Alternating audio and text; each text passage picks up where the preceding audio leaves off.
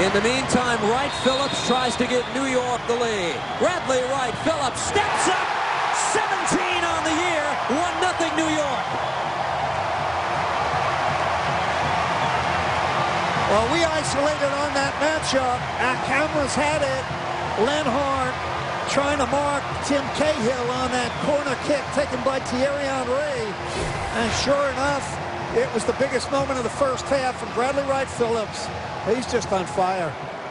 He just hesitates a little bit, sends Busch one way, slots it home the other way.